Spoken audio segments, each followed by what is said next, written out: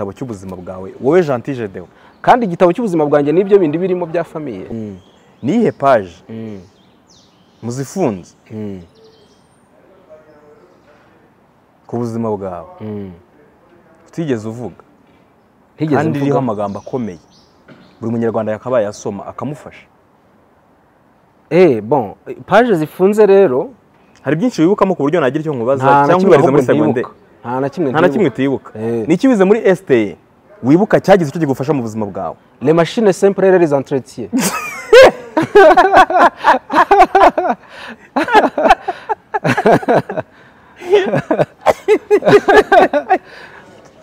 Izo mashini niyo niyo yakugiriye akamaro mu lahu. Isuka mbese rambwisi ni machine simple ubundi se wita abahanuzi ni abaki? Ubu se wavuga ko Einstein atari umuhanuzi? Abahanuzi ni abari mu gitabo ugenderaho nanjye ngenderaho. Ubu wambwira ko Ezekiel ari umuhanuzi Einstein ntabe umuhanuzi? Neza pasita korode ko yahanuye? Oya. Ikindi kandi uba uri kumwe na mwanafunzi kenshi. Kandi noneho duherukana kuwa mbere agiye kungurira ibiryo. Yagiye kugurira ibiryo. Yaremeye aragura. Nubwo agiye kuvuga ngo ni ubwa ariko mwarafunze aragura ni we muntu wa mbere umutangiye ubuhamya ko yakoze mu mufuka. Oya mwarafunze abafite agatinyuka ingoni ibamo akagira ikintu akuramo akishyura. Ariko avanamo vuba vuba kugira ngo ingoni itamufata.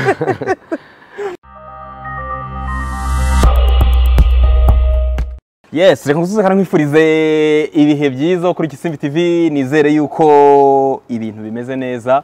Aho uri hatandukanye ku isi mu bice binyuranye nkwifurize kugubwa neza. Niba bitameze neza nabwo ukomere kandi wihangane wumve yuko mu buzima tubamo ko bigenda. Umunsi biba byagenze neza ejo bigahinduka. Ako kanya turusha ndagakunda ako ka nyuma ko kuvuga ngo ibintu byagenze neza ejo bigahinduka. ejo bigahinduka. Uyu munsi hari igihe biba byagenze nabi abantu none bihangane. Mm. marumva kameze nk'isengesho ry'abapasiteri. hari ukuntu gatera ikinya. Hari ukuntu gatera ikinya. Umuntu ukumva fete nk'umuntu uhora akurikira ibiganiro by'isimbi Eh. mushyiramo akantu k'ikinya Oya, ntabwo ari ikinya. kandi ni keza. Nturi umu adeperi janti Eh? reka simpite mbigarukaho nona. Mbanze nibwirira abantu bari hanze ya afurika ko shene yitwa zacu entertainment iriho filime zuzuye zigezweho mu rwanda. Indoto sitimedi seburikoko n'izindi zigezweho i kigali ni ho honyine zibarizwa. Ku muntu uri hanze ya afurika hanyuma ku bari muri afurika ni kuri shene ya mirongo itatu n'umunani kuri kanari purisi ku bayitunze. Ku batayitunze ntabwo nzi icyo nababwira. Ni ukujya kuri yutube kuri hanze ya afurika. Eh. Eh. muri hanyuma nka afurika ariko Eh? abahari bayigure. Muri afurika? Bagure shene oya muri afurika abahari bakoresha kanari purisi bagure nyine shene za kanari yego. Se bagura shene cyangwa bagura bagura bagura subscription. ifatabuguzi ifatabuguzi ese ubwo ni ifatabuguzi koko? Ubundi subscription ni ukwiyandikisha. Bagende bajye bajye gusubscribing. Eh, nakiriye umugabo w'umuhanga cyane nkunda w'inshuti yanjye witwa Gentil Gedewo ntirenganya ariko official. Yeah. official ni we tugiye kuganira. Eh akaba mm, ari umugabo wubatse ukora itangazamakuru mu buryo uh, bw'umwuga akaba anakora n'ibindi biri hanze y'itangazamakuru ariko bishamikiyeho. Birimo gukorera abantu za documentaire ah, gukora za voice over mu buryo bugamije ubucuruzi. Ah, n'ibindi ntavuze byinshi. Consultance mu itangazamakuru. N'ibindi ntavuze ni ibihe gentil? Cyangwa nawe uyobora ubukwe ah, oya. ariko rero nabwo wabona nabuyobora da nuko ntarabigerageza Mm. Eh, ariko reka tubanze ducuruze ibindi ukora ni ibiki nkora consultance ya abantu bashaka gushyiraho amaradiyo bashaka gukora porogaramu y'amaradiyo Mm. cyangwa amateleviziyo Mhm. abantu bashaka gukora ibiganiro by'ubucuruzi ama voice over nk'uko wabivuze Mm. documentaire abafite ibirori abafite event ariko na consultance muri communication kuko nabigize si ni ibintu nzi Mm. ibintu Aha. byose bijyanye no gutumatumanaho Mm. no, gutanga amakuru gutumatumanaho no gutanga amakuru Mm. ese buriya ntabwo ryari bitumanaho gusa rero bituma tubana ntabwo ryaba itumanaho gusa riri ibitumatumanaho impamvu rero ituma tumanaho Mm. Urumva ngewe ngutuminyeho ni ubutumwa bwaba buvuye iwanjye buje iwawe Mm. ariko dutumatumanyeho bwaba bwavuye iwawe bwaba bwavuye iwanjye bukaza iwawe bukongera bukanagaruka ubundi kominikasiyo yuzura iyo habaye ikintu bita bita gute kugarukirwa na ntuze Eh, donc habaye feedback Yego. iyo ibintu watuminye Mm. umenye ko byahageze cyane cyane ukabibwirwa n'aho wabijyanye. Mm. ubwo ni bwo kominikasiyo cyangwa se wabijyanye nawe ukabibona byagiye cyangwa hanze ukabibona byagiye ahandi. Nibwo Mm. kominikasiyo iba yuzuye. Ngo niyo mpamvu donc ni itumatumanaho ntabwo ari ituma Eh. aha akaba anasanzwe afite shene ye bwite yitwa Gentil Gedeo official ya. Eh, noneho ubu ngubu yadutunguye mu buryo butunguranye cyane mu buryo butari busanzwe. Agiye kujya akora ibiganiro en video bitandukanye n'uko yakoraga. Ijwi gusa ariko mu buryo nanone bu- busa n'aho ari ubw'amashusho kuko Yego. YouTube ubundi igenewe kuba isakaza amashusho cyane n'ubwo audio zijyaho reka duhere kuri icyo ngicyo ariko reka mbaze nkubaze nti umwaka wutangiye gute nawe utangiye neza Mm. ntarebe rwose agafaranga gake gakeya kagiye kaboneka gake gake Eh? K'agasabune. Mm, agasabune kari kuboneka agasabune karaboneka. Urumva? Eh, Eh, agasukari. Mm, nta ribi bimeze neza. Umwaka wutangiye neza. Hanyuma muri business bimeze gute? Bo muri bizinesi nabwo nta- ntabwo ari bibi cyane.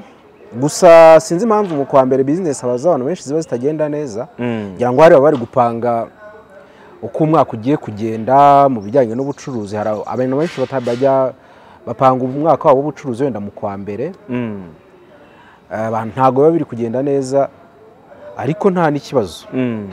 ni ibintu bisanzwe Ni ibintu byatangiye Okay. neza. Nari mpereye ku kintu kivuga ngo watangiye indi sheni itandukanye n'uko wakoraga mbere Mm. yitwa one on one. One on one. One on one. Ni ukuvuga ngo ni umuntu ubwo se niba bari batatu uga- uganiriza abantu batatu uri umwe bizitwa? Bariya batatu nabo bari one bariya babiri ku ruhande baba bari one. Nange ndundi one.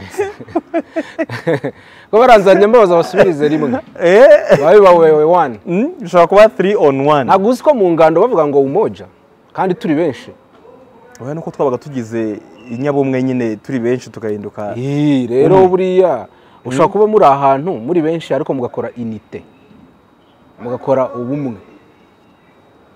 On one ubwo nizeye ko uzajya uganiriza umuntu umwe. Nibarenga umwe? Nibarenga umwe janti ni izina ry'ikiganiro ugiye izina ry'ikiganiro Eh, ni Naho izina ry'ikiganiro. eh, ni izina ry'ikiganiro. Nyine Eh. nibarenga umwe. None ari nka babiri. none se uko shani yawe yitwa isimbi ntabwo ushobora kujya gukora kuri nyiragongo.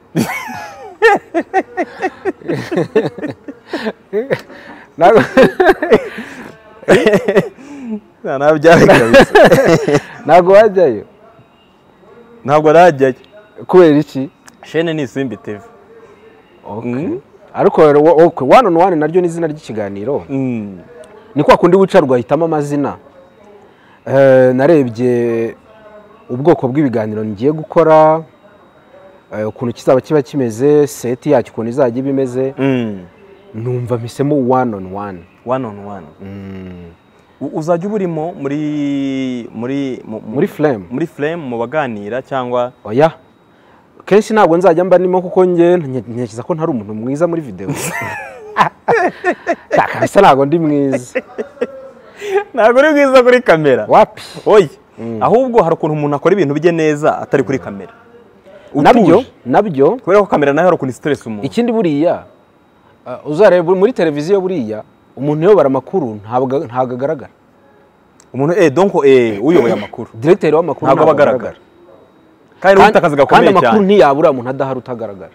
Iyo rero uri on camera hari ibintu nk'ubu ngubu ndi gutinya nko kugira gute nko gukora mu mufuka. Cyangwa kwikora mu zuru. Cyangwa kwikora mu zuru. Cyangwa kwihaganyura akantu hano mu ryinyo kandi njye ubu ngubu nemerewe kandi wowe reba nk'ubwo ufite kirida mu kanwa. Urumva? So hari ibintu rero bitashoboka Mm. um, igihe naba mpora muri kamera ariko sometimes nzajya mba ndimo. Okay yego biteye gute rero? Kubera iki wayitekereje kubera iki Gentil Gedeo official ugiye kuyica intege ukayambura ikiganiro ukakijyana ku ruhande? Ntabwo ngiye kuyica intege ahubwo ubu ni bwo igiye kugira intege. Gentil Jedi Official igiye kugira intege mu buryo bukomeye kubera ko ubundi Gentil Jedi ubu ngubu ni ukuvuga ni ikigo Mm. ni ikigo kinini Mm. mu kigo rero eh, abantu babanje kumenya shene yitwa GG nyine Gentil Jedi Official Mm. ariko ubundi Gentil Jedi Official Limited ni ikigo kinini. So eh, kugira ngo rero ikigo cyaguke gomba gushyiramo izindi activity Mm. Eh, kampani yitwa Gentil Gedeon Official yego Limited. yego Imeze nka King James yitwa Ruhumuriza Company James Limited. Ruhumuriza Company Limited Eh, ririmo rwa ruganda rw'akawunga eh. eh Niko kampani ye yitwa. eh Mm. wowe yawe yitwa gute Yanjye yitwa Isimbi Limited. okay Mm. waradekaraye Ngo waradekaraye nese kitaravuga ngo na- ndabeshya kampani ni iyawe cyangwa ni iyanjye. utagiye kuburana ku mutungo utari uwo uradekarara se uri umudekarara Kudekarara iki? kicitara Na nyine icyo kibazo ahubwo widibaza uyu bitebye. va kuri cita Ahubwo dore kameramana ni seti. komera ratanise Mm? Eh, ni ukuvuga Yarakoze. ngo Mm. nagize kamere nk'aba- nk'abarokore Mm. Kandi uri we mvuge nk'abo nyine no nanjye ndi nagize iyerekwa dore tujya kuvugira mu mwuka. Eh, ubu ngiye mu mavuta. Tuvuye mu mubiri. atari nk'amwe wa mutaramu wavuze ngo umuntu azafungurwa wa mupasiteri. Uriya mupasiteri cyakoze ibintu bye ntabwo nzi ukuntu bimeze. Nagize iyerekwa ryo kwagura ikigo kugira ngo em, nanjye naguka. Ubundi ngewe m- mu buryo buri mvugishije ukuri ngewe ngira ngira esprit yo kwiyegizositinga kwiyegizositinga ni nko kugerageza gukoresha ubushobozi bwose mfite. Bwose bwose. Ukwikamura donc ukagenda uka- nkikamura kabisa. ukaba desiderate ah, nanone uduhaye dezida dushobora no gupfa. Ariko ngerageza kwikamura nkimaramo imbaraga.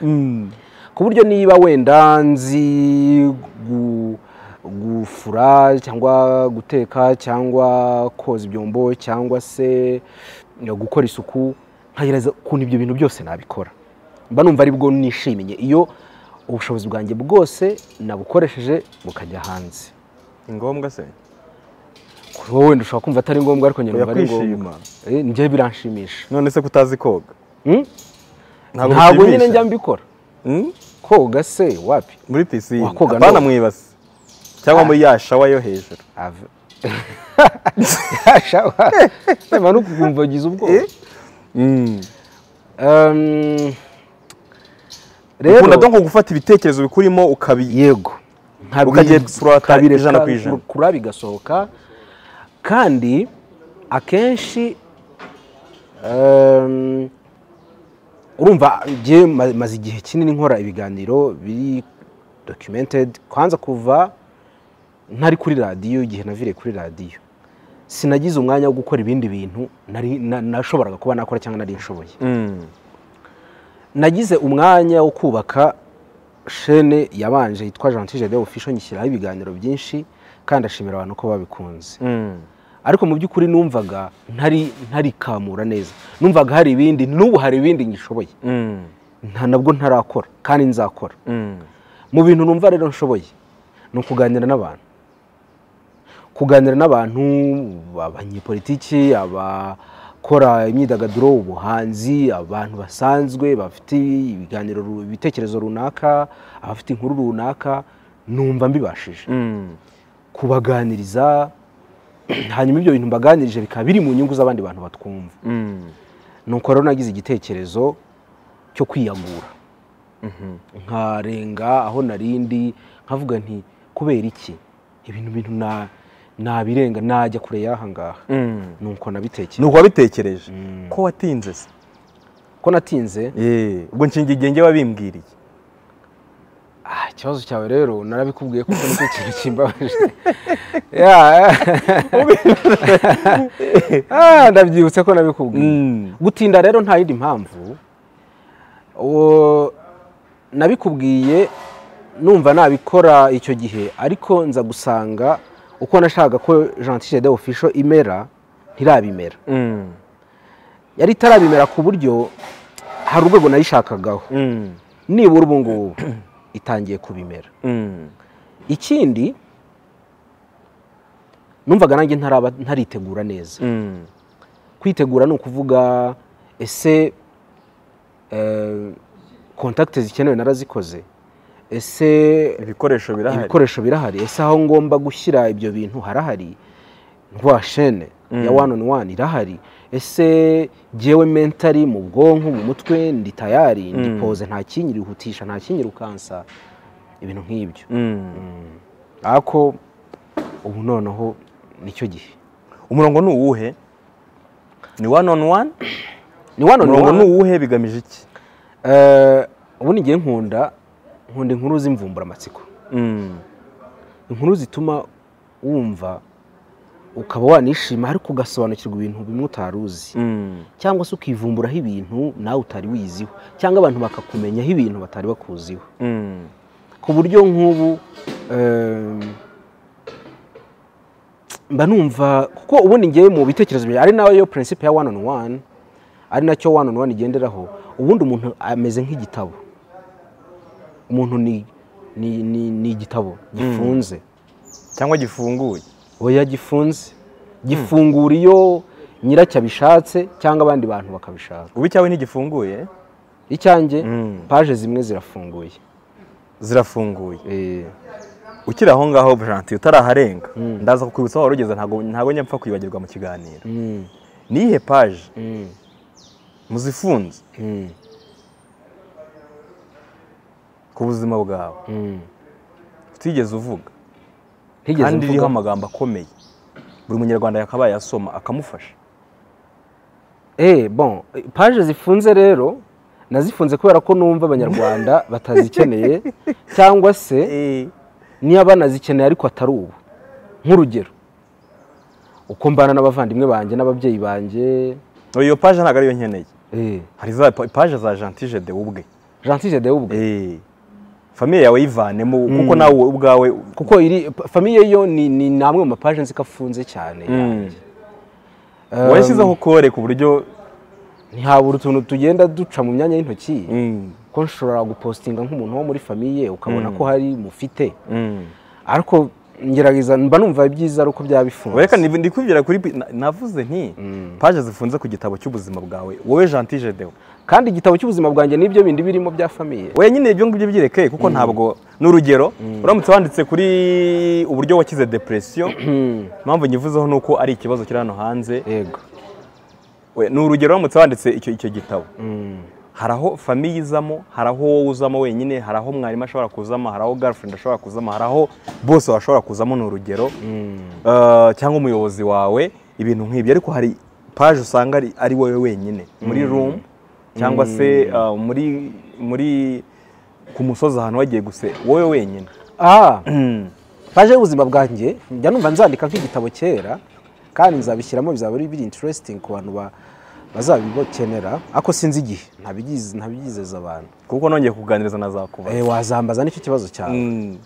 Ariko- ni ikibazo cyangwa ni igisubizo? Ngaho ni komeza ikibazo. Ariko ariko paje y'ubuzima bwanjye ni nk'ibijyanye n'amashuri mu bwana bwanjye uko nakuze eh, ibyo nakundaga uko napartisipaga nko mu mu- muri activite z'abanyeshuri z'urubyiruko mu mikino mu ki uko nabayeho uko nize minerivare ibiryo byo ku ishuri imyigire um, umubano wanjye wenda n'ishuri umubano wanjye ibintu nk'ibyo. Mm. Cyangwa kugera yewe no muri segonderi Muri primaire ya Janti. he- mm.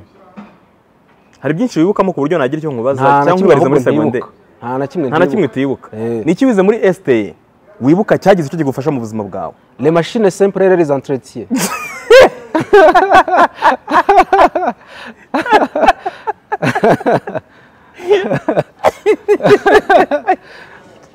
izo mashini niyo niyo nyine yakugiriye akamaro mu lahu.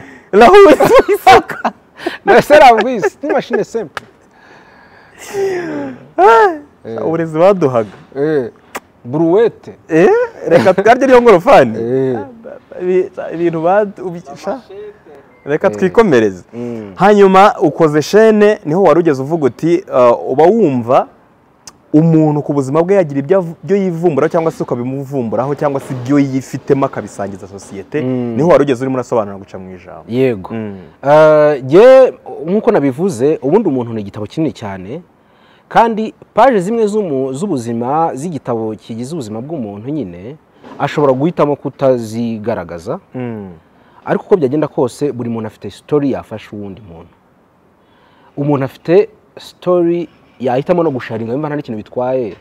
Ko no mu rusengero burya n'abantu batanga ubuhamya hagira utuntu atavuga. Mm. biriya rero yavuze ni ibyo aba yumva ntacyo bitwaye bimutwaye ariko buri muntu buriya afite igice cy'ubuzima yaba ikiri porofesiyoneri ibijyanye n'ibyo ukora n'akazi kawe ka buri munsi yaba igice cyihariye cy'i- cy'ibanga.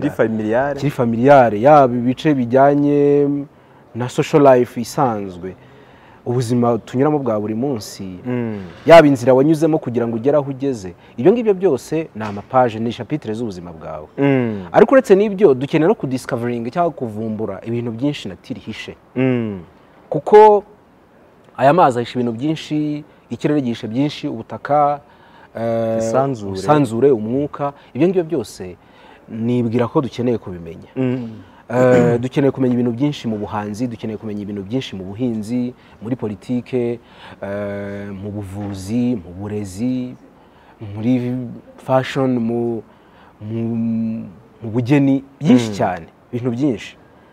Memu hari n'umuntu udukurikiye utazi ukuntu kamera ikora? Hari n'uri kuyikoresha ko ushobora kuba utazi ukuntu ikora? Nka cita cyane. Cita wamugangaza ibintu bya kamera. Kandi ayihora iruhande. Inamuhoraho ayobora ubukwe. Ayobora ubukwe. Ariko afite mikorofone mu ntoki. hari ubukwe yayoboye ejo bundi yambaye ikoti ry'umweru. Ararira se Eh, ararira ngo yabonye umugeni arira ngo nawe yumve ni abarira icyanyereka ayo inshuti arimo ararira. None se umugeni wenda ko yarababajwe n'uko mama we yahasirinze ushobora gusanga inshuti yarababajwe n'uko umugeni bamutwaye yari afitanye gahunda se emusi w'ubukwe? Wa, Ci- Cita Kubera icyo ngira yagize ngo urumva cita yishyuza amafaranga bitewe n'ibintu byabereye mu bukwe. Eh, iyo arijije nk'umugeni afite wenda eh, karamusa hari ikintu hari ikintu yo gukenera ba anje na pamela bakuriza abageni ntabwo baba bakimukeneye.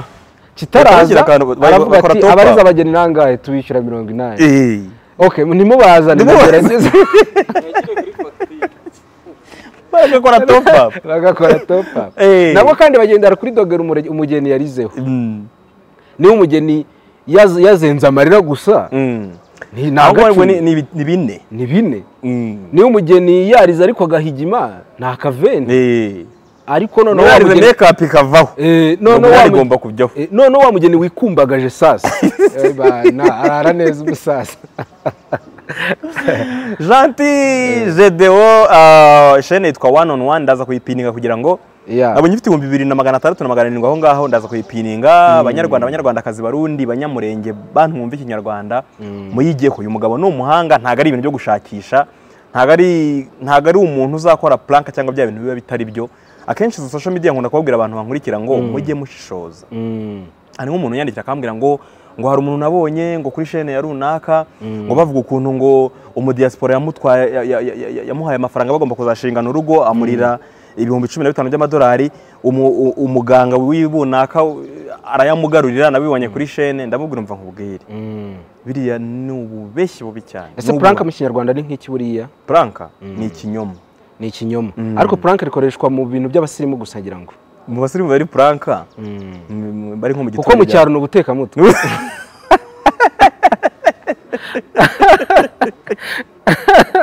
mu cyaro mu ni nk'uko mu cyaro abari masenge Mm. ariko mu mujyi se suzi ko ari tante mujyi ni tante Mm. mu mujyi uhita uvuga ko ufite onkre Mm. Ariko mu cyaro ni data wacu. Ariko mu cyaro onkre ni we data wacu. Urumva mu mu mujyi haba amasano makeya. Eh ni makeya. Mu cyaro aba- mu- mu- mu- mu mujyi aba bagabo bose ni ba onkre. Mu cyaro. Mu oya mujyi mu gihe mu cyaro ni so wanyu cyangwa ni nyoko wanyu? nyoko wanyu Mm. cyangwa mwene so wanyu? Yego. Ibintu nk'ibyo.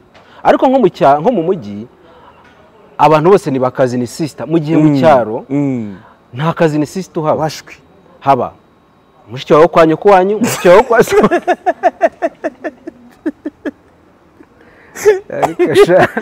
noneho mu mujyi ntabwo bavuga nyoko wanyu. Ubivuze barakureba mu mujyi noneho. Nk'iryo jambo nyoko ubwabyo Nyo- eh, nyoko mu mujyi ntabwo bibaho. Ni ikibazo. Uzi yuko hari umuntu naganirije? Ndamubaza se.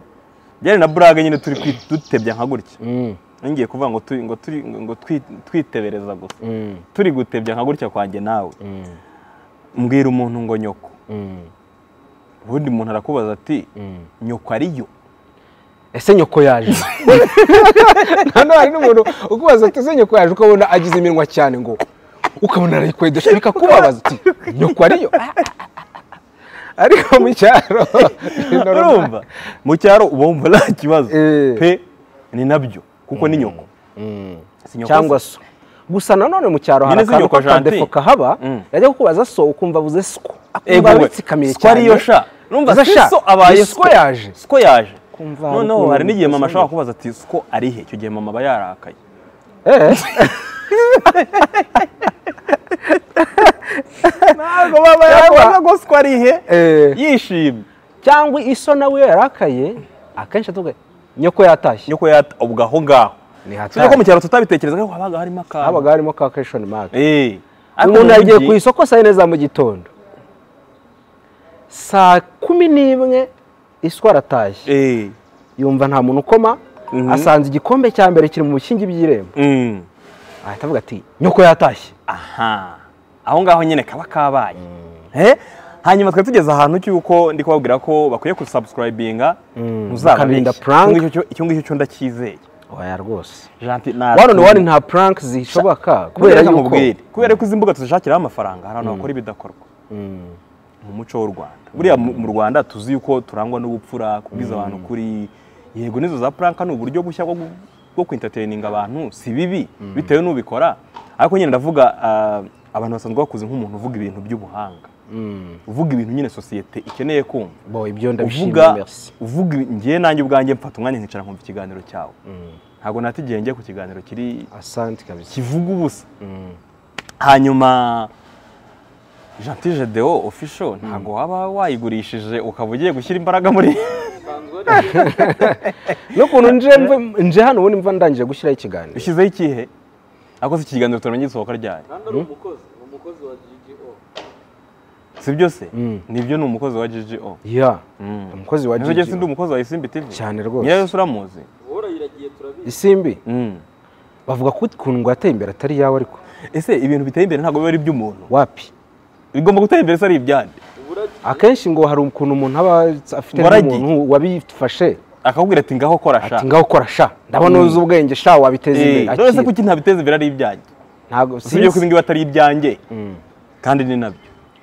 Ugiye kuvuga ngo ni iby'abanyarwanda umugore ari kumpamagara kenshi kandi hari igihe aba ari ikibazo. Alo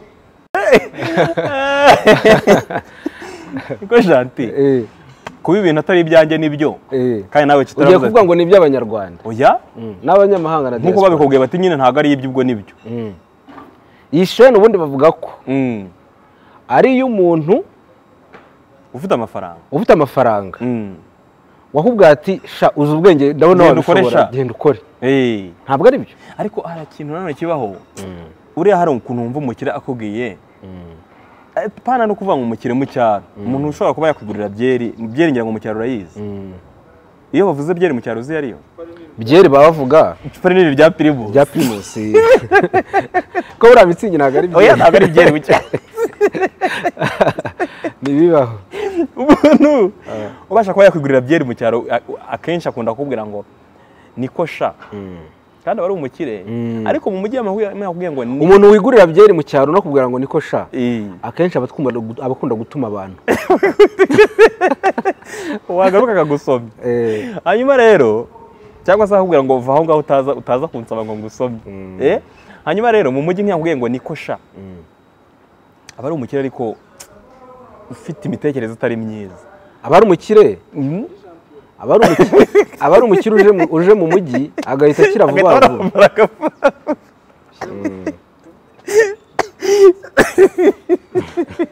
kitari kuvuga ngo ni jyewe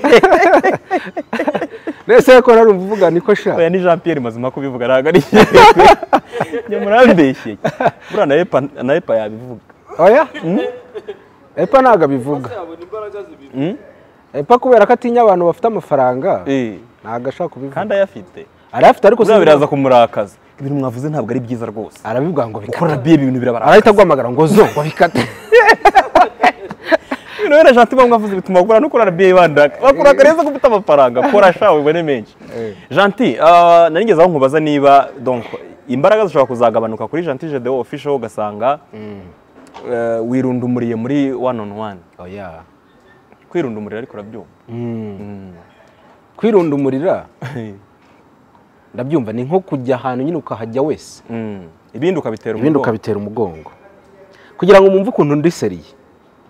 Abantu mukurikira gentile de ofisho muhere uyu munsi. Murebe ko ibiganiro nashyiragaho hari ikizahinduka. Yaba mu bwiza no mu ngano yabyo.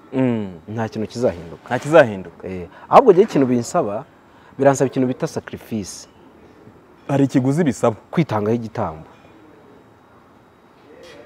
Ngomba gukora cyane. Mm. ntiwakoraga cyane. Oya n'ubundi nakoraga cyane. Ahubwo nk'uko nabivuze ni ukwikamura. Mm. ndabizi ko imbaraga mfite zirenze izo nkoresha. Ese ubundi janti wowe wibona ute? Nibona nte Mm. sinibona. Kwibona iba mu rugo se wapi? Wapi? Irahari ariko hari undi muntu uyikoresha utari njye. Eh. witekereza ute se ku giti cyawe? Sinjya mbitindaho. Ntabwo ujya ubitindaho. Nese wowe ibintu ukora ntabwo ujya ubyumva. Nanga kwiyumva kubi. Ese buriya ni ukubera iki? Ngewe nanga iyo ndi ahantu umuntu agahita afata reka noneho na kwa kiganiro." kundi uba uri nk'ahantu hari nk'umuntu ukubona ageze nk'ahantu agahita akwereka ikiganiro kiganiro. cyawe. Mba numva bimbangamiye. Sinzi impamvu. Biriya bintu se umuntu bitabangamira ni iki yirirwa yiyumva cyakoza njyewe nkeka ko impamvu uzi yuko ugiye bimbangamira. Hari abantu barenze umwe Mm. bakubwira ko ni biram- ni cyo kintu cya mbere rwose nanjye ndabyanga. Gusa njyewe nkeka ko wenda urumva kugira ngo kugira ngo nkore biriya bintu abantu bumva. Mm. ndabanza nkabisoma. Urumva? Nkabisoma n'ubundi biruta biriya muri ubyisomera ariko wowe. Mbyisomera Eh. narangiza nkabihindura mu rurimi rwo nkoresha rw'ikinyarwanda bishobora kuba biri mu cyongereza cyangwa mu gifaransa. Niba biri mu rundi rurimi nshobora kugerageza bikajya muri izo ndimi nshobora kuza ugakora y'iki- y'ikinyarwanda. Eh, nkaza kubishyira mu rurimi rw'ikinyarwanda nkoresha. Narangiza nkabisoma. Urumva? Nabwo ubyisomera. Nabwo mbyisomera. Wirikodinga Eh, narangiza kubisoma nkabishyira muri porogaramu ituma nzajya ngenda mvanamo utuntu tutumvikana neza ariko cyangwa hari igihe dusigaramo. Yego Eh, iyo nkuye natwe rero mpita nseka. Ni ikibazo. Urumva urumva. Putine putine tivwa eh, na zo ni stress z'akazi hariya paul urumva. Eh. ubwo icyo gihe cyose nafashe Mm. mba ndimo nsubiramo ibintu bimwe. Kongera kumva icyo kintu. Ndabyanga. Mm. ndabyanga cyane. Sinshobora kwiyumva. Utekereza ko sosiyete igufata gute janti sosiyete ikumva? Hari abatakumva nk'abantu baza hehe na hehe? Sosiyete rero inyumva? Ntekereza ko wenda eh, ngendera nko kuri komenteri nizo nari. Mm. ko abandi batagira icyo bambwira cyangwa batagira icyo bandika sinamenya icyo bantekerezaho. Mm. Abantu- ariko kirahari uko byagenda kose? Abantu banyumva batekereza ko wenda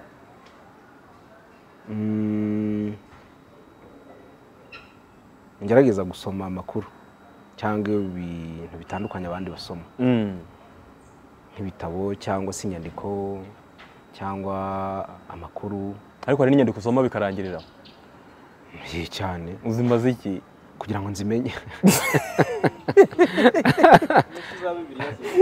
None se ubu ibintu byose usoma wowe urabivuga ntabwo yewe wabivuga ahubwo ibintu nsoma nta na kimwe njya nkoresha mu biganiro. Urabikoresha. Ko birimo skills ukoresha nyine? Nubwo utabe atari ntarakubwira ibintu nsoma. Ariko bihindura bihinduka mu bundi buryo ukabidusangiza mu bundi buryo. Oya buriya se ni byo? Ibintu nsoma cyane ni ibintu nkeka ko bidahura nka n'itangazamakuru. Kare tuganira twaganira ibintu bya filozofi ya Descartes numva urabizi. Nuko twakizaho agafilozofi gakeya. Muri segonderi buriya rero ushobora gusanga ariko wanshukishije nkaza ku kiganiro. Nibyo se. cyangwa ukajya ugakoresha ariko natekesheje umutwe. Eh, ibintu nsoma ngiye byaranyobeye. Ejo nahuye n'umuntu w'umujeni pe? Nimvuga umujeni wumve ko atari bya hari bintu- umuntu waguhaye igitabo ndeba Mm. duhuriye kuri Mm. kandi icyo gitabo waragisomye. Naragisomye. Urabizi umutumba munini koko. Mm, naragisomye. Ibintu nsoma cyane nyine nakabaye mbwira abantu. Ni ibintu bibera mu kirere. Byaranyobeye. Mu isanzure Eh. ukunda isanzure cyane ndabisoma ariko simbyumve Eh. Mm. nk'ubu ntabwo numva uburyo ijwi ryanjye nawe riri kugenda ritambuka gutya Mm. noneho nta n'akantu karimo hano hagati k'akagozi kari kubijyanamo hariya muri iriya kamera Mm. hanyuma nabo baze buri muntu ahantu ari ku isi nawe aze kubyumva bidacikagurika Eh. utwo tuntu turi hagati nyine tutagaragara niko mba nshaka kumenya oya hano harimo harimo ibintu ariko hano hagati harimo nyine kandi ibintu ari byo mba nshaka kumenya harimo umwuka harimo amashanyarazi uburyo bikorana harimo rero. amayiyo harimo ama electron. Uburyo ibyo bintu byose bikorana. Nibyo nkunda gusoma. Eh. Mm. sinumva uburyo andi masi ari mu isanzure azenguruka isi turuna inyuma y'izuba. Mm. otur y'izuba. Mm. ntibigongane cyangwa ntagire igikora ku kindi. Kandi kuva isi yatangira buri kintu cye rero cyikaraga mu kirere gifite ikintu bita orbite. Yikara- yikaragaho. Eh, ntikijya kirenga kariya kantu nyine iyo mpamvu niyo mba nibaza iyo orbite se kubera iki? Iyo orbite ni umuremyi wayihashyize niba ari aba- kubemera umuremyi. Ariko muri bibiliya bavuga ko yaremye isi. Yaremye isi? Abantu wigeze rero- wumva bavuga ko ya- ko yaremye ntuze. Erega abantu banditse mu bayanditse bayanditse nta bundi bushakashatsi buraba. Eh, uravuze ngo nta bushakashatsi mu by'ukuri abahanuzi hari ibyo bibeshye. Ntabwo ari ukwibeshya. Kuki bahanuye ibyari bihari? kuki bataduhanuriye? Batubwire plateau batubwire ubundi se wita abahanuzi ni abaki? Ubu se wavuga ko Einstein atari umuhanuzi? Abahanuzi ni abari mu gitabo ugenderaho nanjye ngenderaho. Ubu wambwira ko Ezekiel ari umuhanuzi Einstein ntabe umuhanuzi? Neza pasita korode ko yahanuye. Oya. Wahereye kuri iyo ngo y'inshuti yawe. Wahereye kuri iyo ngo yes niba n'abari n'abahanuzi Mm. ariko nyine ntumbwire yuko Isaac Newton atari umuhanuzi. Ntabwo byashoboka. Nta kuntu Jefferson atari wa umuhanuzi. Madeperi we rero reka tugaruke kuri bya bintu ngiye nsoma. Urumva ibyo bintu hari ikintu nabivuga hano ku isimbi? Ariko urabisoma. Ndabisoma ariko numva nta kintu nabwira abantu. Nanjye sinajya kubivugaho ngo ibyo ngibyo. N'ibyo mvuze birancitse. Reka twikomereze. Sosiyete twari tugeze ukuntu itekereza janti. Ushingiye kuri feedback wakira haba kuri instagram nsigaye mbona uduha updates ni byiza. Kera ntabwo wabikoraga. Narakangutse. update. Eh, ni nk'uko n'isimbi tv ifite umuntu witwa Suleiman uyikoresha. Ariko nanjye biriya bintu byinshi buriya sinjye mbishyiraho. Mm. ni umujama witwa Arsene reka da. Ugazaza tumwigishe social media manager yandika ibintu bizima. Mm. ajya ibintu nyine byanditse neza. Mm. Sosiyete ukuntu igutekereza ni ho twari tugeze. Sosiyete rero ukuntu intekereza. Sosiyete ishobora kuba intekereza yuko wenda ndi uwo muntu nyine uba usoma ibyo bintu bitandukanye cyangwa se igatekereza yuko ndi umuntu ariko ushobora no gusanga hari umuntu utekereza ko wenda ndi umuntu uri aho w'inzubare azubara. usoma ibintu byinshi byamucanze agahita azubara Wenda. Cyangwa se utekereza yuko ndi seriye? Neza ntabwo uri seriye. Kuba seriye ngo ntibigicuruza. Eh? kuba seriye. Simbizi. Nkeka ko ariko niba ndi na seriye byaba bimbangamira. Kuba seriye. Ariko nyine ukuntu abantu bantekereza ni kwinshi kumwe sinanakumenya. Mm. gusa nkubwira ukuntu abantu bagutekereza. Mm. sawa mugani wumva bavuga guki yesu bamubajije ngo iki ngarya bamajije ngo wumva abantu bavuga ko ndinde wababaza ngo iki? Mwese mwe muvuga ko ndinde ubwo ni cyo kibazo mbajije muri make. Eh, sosiyete itekereza Gentil Gedeon nk'umugabo mukuru cyane. Kuko umusaza. Mu- mukuru apana w'umusaza. Wa mugabo mukuru cyane mukuru. Nagiye ahantu nagiye ahantu ngiye guhura n'abantu. Ujya ubona kuri televiziyo rwanda ukuntu baravuga ngo impuguke Eh, Eh, ubu nagiye ahantu ngiye guhura n'abantu ariko batanzi mpageze banga kwemera ko ari jyewe. Barabyanga kabisa. Bati se ni wowe? Eh, ariko bakavuga ngo ijwi ngo ariko ngo turumva ari ryo ngo ariko ngo ntabwo ubwo ngo koko ngo ni wowe? Ngo turumva ngo ijwi ngo bya nanjye hari umudamu byambayeho bigeze ubwo mwereka ikarita y'itangazamakuru. Mm. ijana ku ijana. Cyane rwose. Mbere yuko tuganira arambwira ati no. Ntabwo ari wowe. numvaga rwose uri umuntu munini bifatika. Ndamubwira se ubu ngubu ufite inda se? Ufite inda.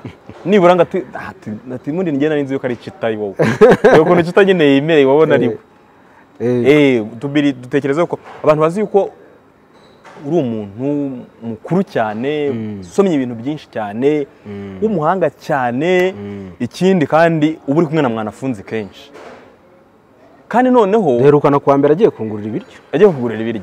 Yaremeye aragura. Ariko kuvuga ngo ni ubwa ariko mwarafunze ni we muntu wa mbere umutangiye ubuhamya ko yakoze mu mufuka? Oya mwarafunze afite agatinyuka ingoni ibamo akagira ikintu akuramo akishyura. Ariko avanamo vuba vuba kugira ngo ingoni itamufata. Abantu bakaba batekereza yuko muri abantu bafite imitekerereze ishobora kuzatuma mufata indi myanzuro itari myiza ku buzima. Iyihe myanzuro se? Iyo gutekereza ibindi bintu kurusha uko dutekereza ibintu. Ibihe? Nta myanzuro iyo iyihe usoma ibintu by'ubutasi. Mm, si byo mm, ukanabibwira umuntu uri ahantu wenda kure hehe ahantu mu cyaro runaka. Mm. Mm? umuntu wenda ni urugero ari ku ijwi. Rugasagunga Cyangwa- yanzaniye umutumba w'igitabo cyitwa ngo a spy among friends. Intasi. Mu nshuti. Mm. igitabo kiri wa danje mwiza cyane ndamushimira. Rugasagunga buriya ni umuntu w'imfura cyane. Nkunda ko azi ikinyarwanda gusa. Niyo wakoze nk'ibara ujya kubona ukabona aragukosoye. Akana kagusanga mu gikari. Oya ni umuhanga cyane azi ikinyarwanda. Ni umuntu ukurikirana nyine noneho ni abajene umuhanga kandi noneho kuba ari umuhanga ntibihagije ari supportive. Nyine urabona abajene gutya tungana turi mu kigero cyacu apana ke. Buriya rugasa zaturuta Muga- eh, aratuta ubona agatambwe twateye kamushimisha. Ntabwo ari wa muntu nyine ushobora kubona ko byababaje kuko nijoro yahise nyandikira wambwira kuri one on one ati iki? Ati rwose ni- sawa mbaza se warabitekereje neza? Ati ni byo. Nibyo ati kuraje Eh, akunda gusapotingana cyane. Abantu rero bagutekereza uko nguko. Ko mushobora kuba muri abantu batekereza ibintu byinshi cyane bishobora gutuma mu- mufata indi myanzuro. Mm, wenda ugafata umwanzuro wo kudakoresha telefone. Mm, Mm? Umuntu yakubwira ati tubonane ugahita wikandagira uvuga uti se mm. bya bintu bya seya na kajebe ugahita ubihuza si byo? Mm, eh? Mm. hari na ba bantu bitwa niba ari bamwe bo mu bufaransa ngo iki? Petit- le- eh? ibintu nk'ibyo ngibyo ndi ndi ndabyibagiwe. Mu bufaransa? Bitwa ngo iki? Barimo ikintu cyitwa Les bigaragambije. Le- le Eh. donc ibintu bihuzahuza ibyo bintu. Mm, ui- politiki hagati y'uburusiya na, ukraine impamvu y'iriya ntambara. Mm. birenze ibyo dutekereza impamvu peteroli igenda yiyongera. Mm. tuntu nk'utwo ibyo ngibyo rero urabisoma nk'uko umuntu bikarangiriraho se Eh? bimwe urabibwira abantu nk'amakuru ibindi ukabyigumanira. Hanyuma? Ukabimenya? uka- gusa ikibaye ugenda urumva iyo ibintu bi- ibintu bishobora kuba ukagenda uhuzahuza ibyo wasomye cyangwa ibyo wagiye ubona nabwo uka- ukarushaho kumva situwasiyo Mm. kindi. Ariko hari ibyo ujya ukoresha? Bimwe. Ntabwo ari byose. Reka njye nko mu by'um- mu by'umutekano. Mm, na telekominikasiyo mm. ntabyo ujya ukoresha? Ntitwabura ariko. duke ntitwabura ariko ubwo ngiye mu itumatumanaho n'umutekano Eh. kubera yuko usoma cyane uh, uh, uh, amerika ubwongereza Mm. ngira ngo na russia. Sibyo? Niho hantu numva ndagerageza. Niho hantu numva cyane kandi ni nk'aho ari bo bafite ariko rero buriya hari Eh, na n'ukuntu israheli Mm. buriya hari ukuntu ibyo nsoma cyane hari n'igihe hatari ibyo nsharinga cyane. Ukabisoma warangiza ntunabisharinga wongereka ngo nk'urugero. Nk'ibyo wahoze uvuga by'isanzure. Ibisanzure imiterere y'isi astronomi Mm. ni ibintu nsoma cyane. Kandi mbitindaho cyane. Ariko ntabwo nkunda kubisharinga. Si byo nakubwiye nanjye ko yari ibintu nsoma? Nkageraho numva noneho bigiye kuntera nka depresiyo ngahita mbireka. Ibintu byinshi ibintu byinshi bijyanye na filozofi sociology psychology ni ibintu nsoma cyane cyane cyane cyane. Ariko sinkunda kubisharinga. Ni iki wasomye utasharinze? Nk'ibyo byose nyine. Nk'ibyo Eh, byose. kimwe kimwe. Eh? cyangwa ibintu by'iyobokamana Mm. soma n'ibitabo byinshi hari ibyo nabonye wakoze kuri roma nabonye ari hatari kabisa. Mm, ariko turangina aba ari dukeya ibindi ntabwo bisharinga. abaseminarisite hari ikintu bajya bavuga ngo iki kimasa ngo iki- ngo gikoze muri zahabu ni zahabu ni ibiki ngo kibe roma ngo ngo ngo roma imaze kuryaho ugutwi gusa. Mm, ku mafaranga nyine y'icyo kibazo cy'isiyari mm, ngo ni ugutwi gusa kwariwe. Mm. kuri iyo zahabu. Roma hari ibintu byinshi bitangaje. Icyo kimasa bazajya dukoreho ubushakashatsi niba ari byo. Nyumva n'abasominarisite gusa hari n'amamite menshi nyine mite ni nk'ibintu abantu baba bakabiriza kandi wenda bihari ariko bitameze nk'uko babivuga ni ibintu bitari bidahuye na realite y'isi. Mm, mm. Mm. ariko n'ukuri kurahari gusa impamvu ibintu bi- bijyanye na nka sociology bijyanye na filozofi n'ibiki biriya kuri Ibyo- christianisme gusa. Eh, na byo hari impamvu. Impamvu rero yabyo nitondera kubisharinga ni uko bikora ku marangamutima cyane y'abantu kandi bigasanga abantu basanga nko kwemera. Hari igihe rero ushobora kujya kuderanje ukwemera kw'abantu. Mm. Utanazi neza yuko nawe ibyo uvuga ari byo. Kubera ko nawe ni ibintu wabonye ntawe ni ibintu wabonye mu bandi bantu babikoze bashobora kuba bari bayasi cyangwa batari bo. Ariko utanizeye ko ari byo. Naho ibijyanye na astronomy byo impamvu ntabisharinga buriya ubushakashatsi ku bintu bijyanye n'isanzure ntibuhagarara. N'ubu turarangiza ikiganiro hari ubundi bumaze kuba n'ubu ngubu hari uburi gukorwa none hari uri gukorwa none aha ngaha. Umuntu watumye buri ibintu by'i- by'ikirere bikomera cyane ni Einstein kubera biriya bya black holes. Biriya bintu abantu babyirirwamo ntibirangira. Urumva? Universe ihora ikura. Ni elastic. Mm. ihora yaguka. Ushobora gusanga tumaze ku nta na rimwe ku ijana tuzi rya ntuzi rya ry'isanzure Eh, icyo kintu rero kidahagarara ugerageza niyo wagisharinga abantu ariko uritonda ntawe ugera ugacika intege mu buzima utekereje ku bintu byose wagiye usoma n'ibyo uzi nuko uzi fonkisiyonoma y'isi batubwiye cyangwa batatubwiye. Ntawe ntabura gucika intege gute? Ntabwo byabura. Ejo bazabiretse Ah, mbese ubundi udasoma we ntagacika intege. Ntagacika ariko buriya aba yisinziriye aba yisinziriye iyo ari mu bintu bye yiturije. Kandi gusoma se ubundi gusoma ntabwo ari byo biguca intege. Ucibwa intege no ku no kugenda umenya none se reka nk'uko nk'urugero. Nk'ubu ngubu nje hano nzi yuko wenda uri bume nka lift ukangiza ku kazi kanjye? Ntuyime sinacika intege ubu nta modoka mfite uzatuma bayinsaba Hmm? ubu nta modoka mfite uzatuma bayinsaba bayigusaba urayifite? Ntayo Ah, nta kibazo twikomereze. Mm. ahubwo urangiza kukoze janti ah, i- i- ibyo nakubwiye nk'uko nabikubwiye hari ibyo nanjye nsoma. Nkumva nyine ntabwo nzi uko bimeze. Ariko uko wambwiye abantu Abireka. uko wambwiye abantu bantekereza munini cyangwa mutoya cyangwa ni ibintu bisanzwe. udakunda ibiryo. Kandi ugakora siporo cyane. Byarabuze. Ibiryo birahari. Kwa mutangana si uyu munsi ntibari gucuruza. Ariko uribuka kera tugura kwa mutangana capati za nijoro saa cyenda. Kwa mutangana Ah, ah, bana kwa mutangana uravuga kwa- harya nyamirambo harya twaziguraga ni Uravuga kwa Mutwe ni ho uvuga. Ah, kwa mutwe. Kwa mutangana haba ibintu by'imboga by- by'imboga. Saa cyenda z'ijoro nabwo ni ho barangura Eh, icyo gihe ibintu biba biri fresh cyane. Aho reka tugane ku musozo. Icyo wifuza ku bantu bo ku isimbi TV ikintu nifuza ku bantu bo ku isimbi TV kandi ni benshi shaho. Benshi kubi Mm. se bari abantu bagira ute? Ahubwo aba bantu kuki mudakomeza kwiyongera? Ngiye Eh. kuzuza miliyoni. Ariko nuza miliyoni sabe reka nkubwire ikintu uzankorera. Mm. kunjyana kuri galaxy Mhm. mu gitondo. Mhm. ukanywesha icyayi mu gitondo. Mhm. saa yine ukangura utuntu tw'utubuto. Yego. Ukajya muri pisine wa pisine wapi? Ahubwo nkayicara iruhande. Saa yine ukankubita ikintu kibi cy'igipura cy'ibiryo saa sita. Gifite uruntu rw'inkoko ku ruhande. Urumva? Saa cyenda. Ugakora ka siyesi tukaruhuka nkakora ka siyesita ariko mfite utuntu Two tu- kurya two turi aho kugura ngaho, inyota ngenda n'utuji. nshyiramo nshyiramo nshyiramo nimugoroba. Nkongera nkarya ariko ubuntu buriho ibintu noneho by'ibyakatsi bigiye bivangavanze by'ibibogaboga Eh. bidahiye. Eh. urumva n'ibibuto bagiye bacagagura N'imitobe aho ngaho ugenda neza. usomeza. n'akantu k'agatobe k'imvange. Mm. ugahita untahana mu rugo. Miliyoni zaba yuzuye kabisa uzanywa ibyo ndabikwemereye. Iyi- nintabikora nunabishaka uzansabe room ahantu ushaka kujya kuruhukira muri iki gihugu. Buretse. Nari ngiye kuguha exception. Uzavanamo amahoteli. Ishyuza hejuru y'ibihumbi magana atatu ku ijoro.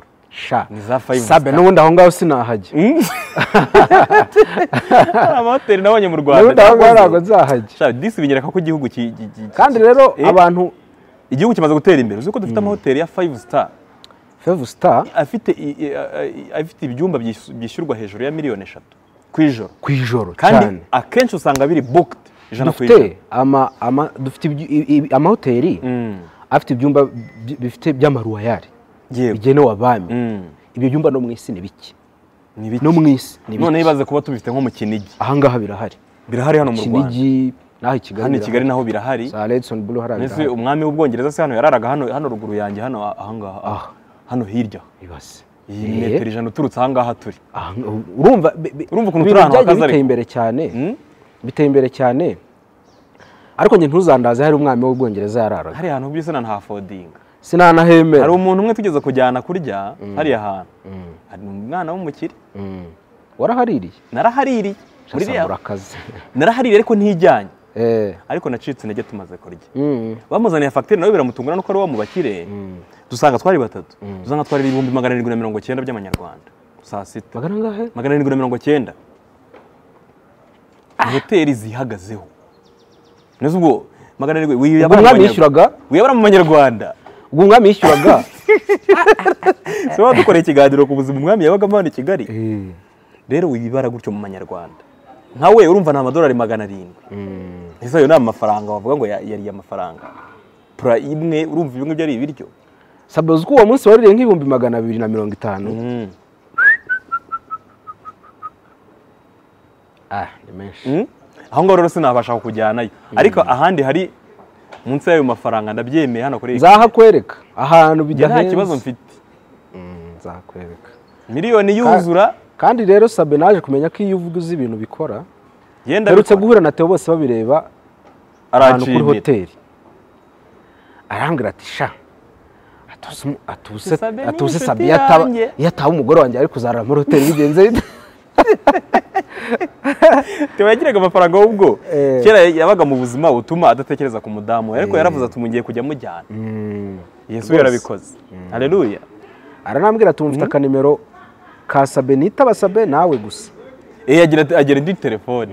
Eh. Iyo abandi bantu bamuhamagaye ni umuntu w'umuhanga afite ubumenyi kamere. Ya kamere. Sinzi niba ujya ujya uganira nawe ngo wumve. Uko atekereza ibintu uko yandika indirimbo ze ni biri nuko ahuzahuza uko ibintu bimeze mu buryo bwa siyanse akabihuza n'imitekerereze ya muntu. Kandi akanabishyira mu buzima busanzwe bikaba byo niyo mpamvu abantu bamukunda rero buriya ni umuhanga cyane. Buriya ni nka one- one one on one ugiye gukora. Nubigenza gutyo bizakunda. Ngira ngo imana izamfashe. Aba bantu bifuzaho iki? Abantu rero bari ku isimbi tv benshi koko.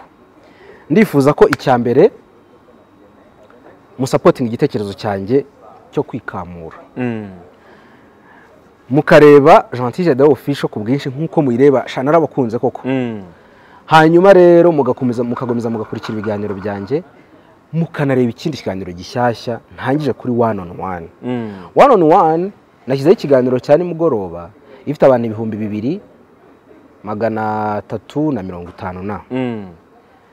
abantu bari kugenda bazamuka nizeye ko abantu bo ku isimbi muri bujyeho gutya ewana mugende ewana.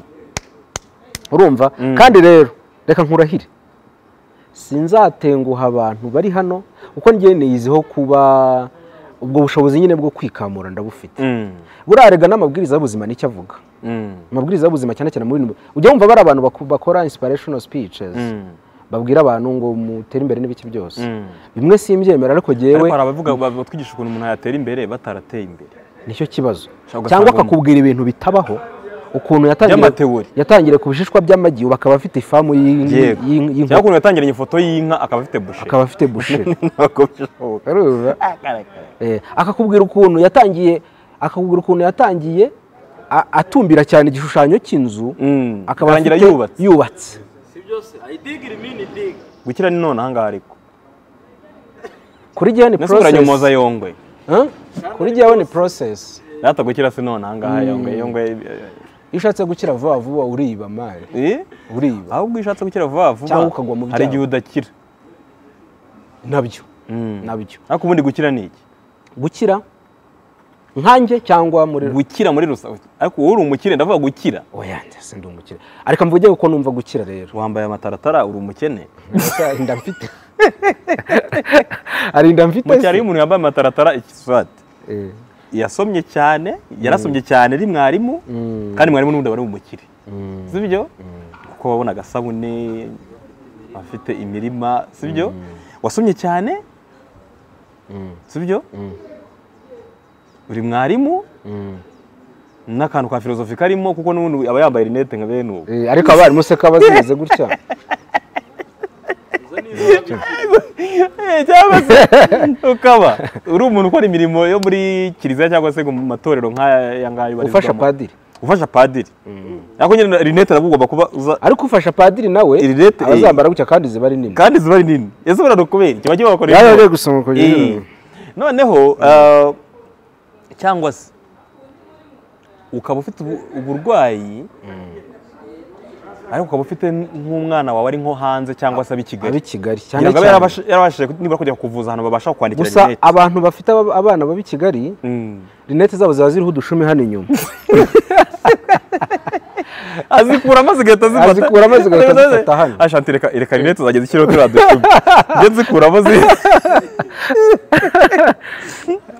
kera umupadiri twagiraga nawe nawe nawe nawe ari gutya yazambaraga. Eh, nawe yazambaraga nyine zikaba ese turiya dushumi tuba dufashe? Ngende ahantu twafata nka uzi ko nanjye nazirebye dufata bene hano. Mm. baragakora ku buryo ni urabona hano haba habyimbye ku buryo Eh, ku buryo katagira. Eh, ariko abantu bazikuramo ni abantu bafite bafite uburwayi. Mm. baba- bazambara bakeneye gusoma gusa. Eh. aho nkanjye ni- ni- n'iteka ryose. Mm. uretse mu buriri. Dore papa. Mm. zana telefone yanjye. Agahita azivanamo za noneho hakaba n'igihe agira gutya ntibyemera akongera akagira gutya wagiye kumukosoza si urumva rero babaye rinete zitari. Eh? n'amasamba tuba turi kumwe yewe. Ah, maze agahita azikuramo. Eh. buriya na eme nawe ajya azikuramo ndayisenga. Eme kenshi ingofero ayitwara mu ntoki. Eme rinete iyo mugiye kuganira ahita azikuramo. Eh. niba agiye kukubwira ikintu kiri siriyasi azikuramo. Ariko eme hari n'igihe akuramo n'ikote eh oya? Ajya arikuramo mikoro ariko na yo yari eh, Mm, ikote arikuramo biriya bikwereka umuntu w'umukire rero. Mm,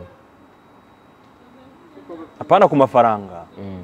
no mu umukire mu bitekerezo. Bitekerezo kuko ubundi niba urimo urasafokaitinga wicaye ahantu kuko utarikuramo. Niko bigomba kugenda. Uko bigomba kugenda. Reka dusoze. Janti ya. Ndamwifuriza ibihe byiza. Abantu baraza gusubscribinga. Ewa, na asante sana. hasi. Kugira ngo uyu mugabo w'amataratara kandi wakoze umushinga ugamije neza ku banyarwanda numva nta mpamvu y'uko tutawushyigikira. N'indi myinshi mwashyigikiye. Nzabaha ibiganiro bizira prank wa- bimwe iyi ni imihigo. Ni imihigo. Mm. bajye bakora evaluation. Bajya bakora evaluation hanyuma bakubwira muri komantere Yego. rwose muvuge mutaha watubeshye mpite ngerageza nkosore. Yego. Kandi rwose ndashaka gukuraho urujijo. Nijoro eh, mfite shene nshyashya. Abantu batangira kuvuga ngo none se ngo Gentil Jado wayigurishije? Ngo irayisimbuye se? Ngo yashatse dahuni se? Ngo bayikwibye se? Ngo wabishyize kuri instagram? Harya twitter yo yita ngo iki? Nitwa Gentil Jado oye kuri uyi- twitter uyita ngo iki? Yes. reka dusoreze aha ngaha mbese iwaye twitter gute? Hariho karaye inyuma ariko. Ariko se iyo ya n'ubundi yaba ari twitter? Nyine ni ntuzi ko iki bita twitter? Ni twitter yakubwiye nk'aba ba- ba- abantu bo kuri match baba bazi- bavuga amazina y'abantu bo mu bwongereza ukumva "Mm, aba barajya bavuze nde? Mm? none se alexander mwita gute? Antoine. Ni alexander nyine. Eh? google? Ngo ni google. Kandi ari google. Nyiri business urumva ukuntu umuhemukiye. Wera nawe ariko. Mm? none se ushyize ufashe google y'ijwi y'igifaransa. Mm. ugashyiramo kariya ka google nyine yasoma ngo iki? Yewe igifaransa se kubera iki? Google nyiri google ntabwo ibyo ngibyo by'igifaransa we google deja google ni google. Hari amazina adahinduka? Nka se igihinduka? Yahu rero ubundi abantu bazana bazanye ibyo bintu. Urabona sabe tuvugisha ukuri wize igifaransa igihe kinini cyane mu mashuri. Mm. Ni cyo wize igihe kinini mu mashuri y'igifaransa? Ikibabaje ntacyo nzi. Aho urakizi? None se twitter uyu sabe mbona wirwa Mm? ubavugisha hano. Yize ibintu noneho we byo guhindura indimi kandi yiga ibintu by'indimi zigezweho. Muri kaminuza. byatumariye iki? Ah gusa ntabwo ari gutuvanamo amagambo. Se bisaba indimi ko bisaba ko umuntu yicaye akavuga gusa. Kuki utavuga indimi zikocamenye neza ubundi ibyo ndi kuganiriza bi- bi- bijyanye n'indimi. Hmm? Nta hantu bihuriye kandi ukoresha ikinyarwanda neza. Nkumvisha abandi bantu bakora ibiganiro nk'ibyo ukora se bakora Mu- musebe yiko akomeye mu muturanyi bisaba kuvuga ikinyarwanda neza. Abira ni hari n'ubuhanzi. ni hari n'ubuhanzi.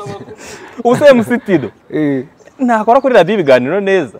MC Tina Eh, oya na- nta- ntihabura abantu bakunda mu iriya ubu se style. ibintu uvuga ugomba kubuza ikinyarwanda neza none se ukeka ko ibintu wize nta kintu bikumariye ibintu wize nta kintu bikumariye eh birakimariye cyane. None. Reka dusoze. byose bavuga gusoma wabisoma reka dusoze. Gentil gedeon umusapotinge ah, yabasobanuriye ukuntu ibintu bimeze. Ntabwo ari shene agiye kuvaho ngo ajye ku yindi. Zombi nize kandi akeneye sapoti gentil gedeon official isanzwe ikomeye. Murayigumaho ariko one on one na yo muyigumeho cyane. Uzatuzanire bariya batipe bawe b'abahanga mu gusoma sibyo Mm. abo mvuze urabumva mbwira uwo ushaka mbere ninde? Si mwanafunze se. Ariko birashoboka ko yagiye akora ibiganiro ahandi se yego birashoboka. Yego yego n'abandi nyine uzi neza. Mm. sibyo Yeah. ba Alphonse Buhire Borana sibyo Umva ukuntu muvuze uretse ko azi ko wari ugiye kuvuga nka mudenge. Bararwaye neza uriya mugabo kuki atavuga ko ari munana? Ariko ni byo avuga. Oya? Umva gute wowe Eh? ni Alphonse Buhire Ibyo bintu- ntabwo ari Muhire ari Buhire Buhire Eh, eh. uzabazane. Yeah, sibyo? Bazaza kabisa. Nanjye ninuzuza miliyoni tuzaganira. Kuko ninuzuza 1M ntabwo nzaguma inyuma ya kamera. Mm. Mm, nzacenjinga sha kabisa. Kuko ni soon. Kabisa. Bagiye kuzura. Gentil wakoze cyane nyagasana asante neza. sana imana ibaha umugisha namwe. Tumenyeho habiri urangiza ku kazi se cyangwa nirwarize nta modoka mfite. Cita ngwino ntwari kazi ye. Ku kazi kanjye. Hano se ntabwo ari akazi. Mm? imodoka Nta- ni akazi. Ni akanjye se? Mm? ni akanjye ntabwo ari akawe. One on one ni iyande eh ni iyanjye nuko rero ngeza kuri office basi yanjye. Ku gisozi. Eh cumi akaba na ari bitanu. Sha akunda amafaranga cica utakunda amafaranga. Mwakoze sabe imana ibaha ibaza umugisha. yuko eh? Umwana ibaha umugisha kabisa. Urakoze cyane Gentil